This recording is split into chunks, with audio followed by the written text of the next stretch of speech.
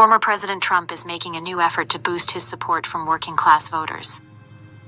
He's proposing to make tips exempt from taxes. The gambit has captured plenty of attention, to Democrats' dismay, and despite being viewed with skepticism by many financial experts. Tellingly, the idea seems to have been first pushed by the former president at a rally in Nevada earlier this month. The Silver State, with its huge concentration of service industry workers, is a key battleground in November's election. Trump is very competitive there, even though the last Republican to carry Nevada at the presidential level was then President George W. Bush in 2004. An Emerson College, the Hill poll on Thursday put Trump three points ahead of President Biden. Trump told his Nevada rally that hotel workers and people that get tips are going to be very happy. Because when I get to office, we are going to not charge taxes on tips. He added, We're going to do that right away, first thing in office because it's been a point of contention for years and years and years, and you do a great job of service.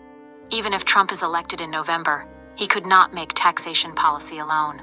That's a matter for Congress. But some allies on Capitol Hill, notably GOP reps, Thomas Massie, Kay, and Rep. Matt Gaetz, FLA, are already pushing legislation that would give effect to Trump's idea. The proposal is underscoring how the GOP has changed under Trump's leadership fiscal conservatives are plainly skeptical of the idea, fearing that it would further deepen the deficit and might have other unintended consequences. But plenty of prominent voices within the GOP have hailed the concept. A desire to show fealty to Trump in an election year is part of that picture. But the enthusiasm seems to also be driven by a belief that the proposal could help undercut Democratic attacks on Republicans as the party of the rich. Send Cynthia Lummis, RYYO, told National Review that it was a fabulous idea and one of those things where good policy and good politics merged.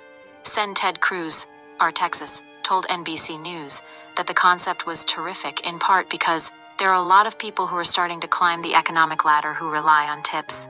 Cruz added that the proposal belied the caricature that Republicans were the party of the rich and Democrats are the party of the poor and the working class.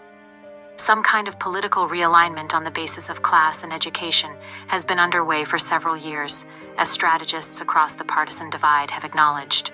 Left of center strategist and data analyst David Shor has argued for some time that education has become one of the major dividing lines in American politics, with college educated voters being increasingly likely to support Democrats and those who have never attended college being correspondingly likely to vote Republican.